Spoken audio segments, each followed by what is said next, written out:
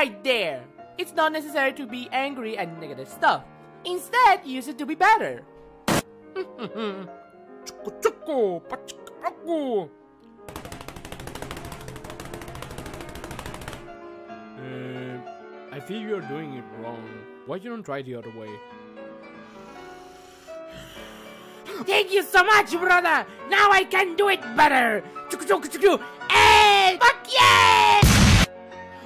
My opinion worked. I feel you're doing that wrong. Ah!